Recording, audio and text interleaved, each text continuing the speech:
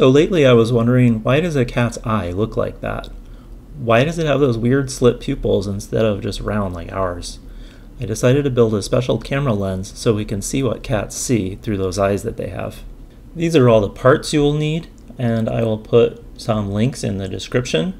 This is a very easy project you can build yourself in just a few minutes.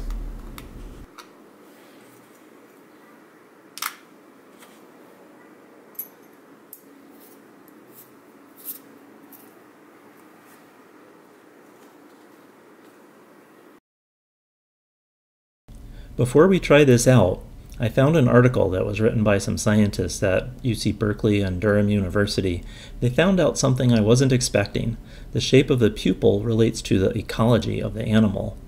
Animals that have the vertical slit pupil like cats, they're usually predators and low to the ground. It's supposed to help them detect low horizontal movements like a mouse scampering along the ground.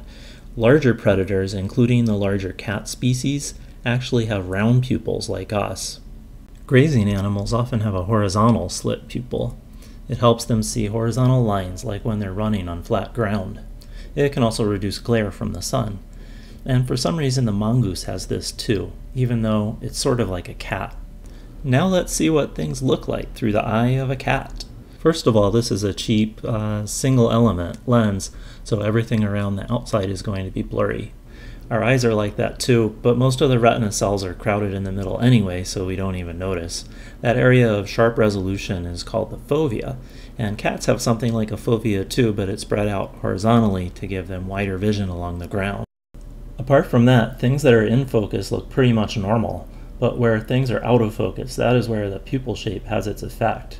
In these pictures, the background is out of focus, and you can see a vertical blur caused by the shape of the pupil.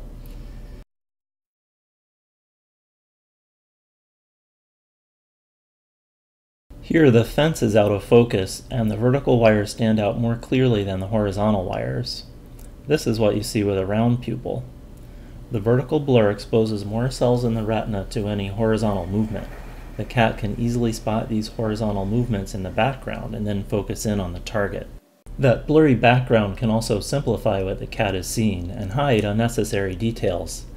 This is like that portrait feature you might have on your phone, which makes the background blurry so people can't see your messy room. Now what about those animals with a horizontal pupil?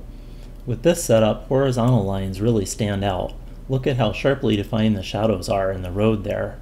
If there was a snake lying there, it would really jump out at you. One more thing is that cats can't see color very well.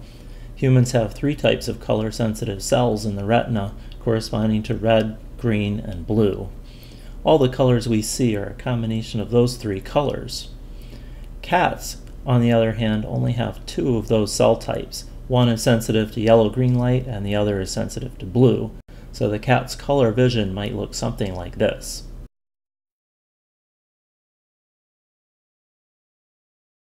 Birds, on the other hand, can see more colors that we can't even see.